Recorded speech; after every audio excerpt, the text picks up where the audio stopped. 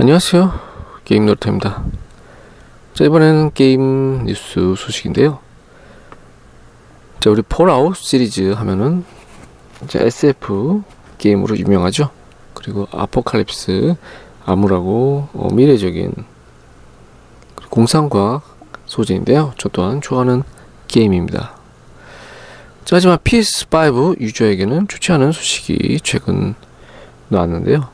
자, 이 게임은 PS5로 말고 엑스박스 독점이 될 듯합니다.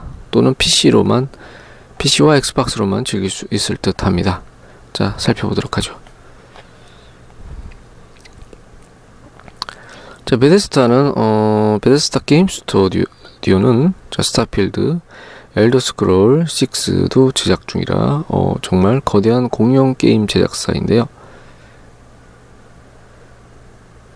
자, 물론 어, 게이머들은 폴아웃 5도 기대하고 있습니다. 차세대의 게임이 될 것이죠. 하지만 폴아웃 5가 출시될 때, 자, 이 게임은 어, PS5로 출시하든 PS6로 출시하든 폴아웃 5는 정확히 엑스박스 독점 게임이 될 것입니다.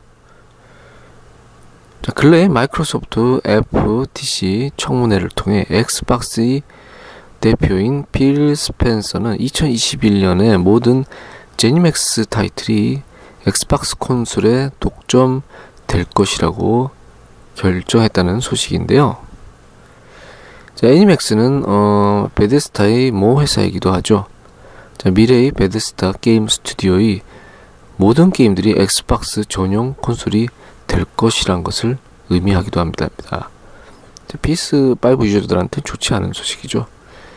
자, 이런 사실은 어, 스펜서가 비공개로 한 것이라는 점도 어, 받을 필요가 있는데요.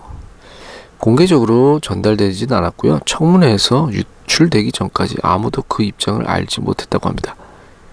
자, 공개적으로 약속하지 않으면 쉽게 진로를 변경, 할수 없고요.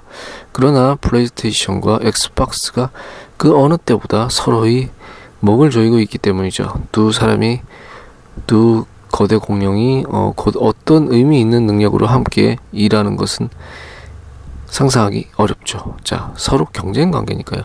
베데스다 게임이 모두 엑스박스 콘솔이 독점이 될 것이라면 미래 엑스박스에서 게임을 할 것인가 아니면 스타필드, 엘더스크롤, 폴아웃과 같은 게임과 시리즈를 놓치더라도 플레이스테이션을 어, 고집할 것인가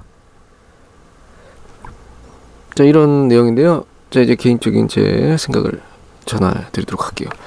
자, 폴아웃은 지금 드라마로도 실사로 제작하고 있어요. 그만큼 전 세계적으로 팬이 많고요. SF 이런 부, 분야의 게임에서 독보적인 RPG 게임이에요. 자유도도 높고요. 정말 시간 가는 줄 모르고 재미있게 할 수 있는 게임이에요. 물론 5탄이 어, 발매하면은 정말 큰 인기를 끌 것 같아요. 또한 미래에 그래픽이 더 발전해서 어, 언제 발매할지 모르겠지만 출시는 될 것 같아요. 제 생각엔.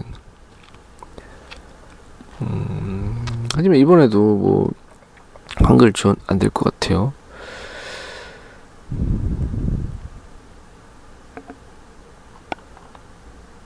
자 그리고 시리즈는 계속 나오는 거는 좋아요.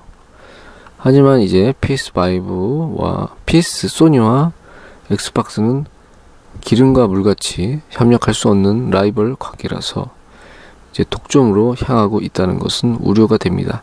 하지만 PC만 있으면 걱정 없답니다. 고사양 PC 말이죠. 게임 노트였습니다.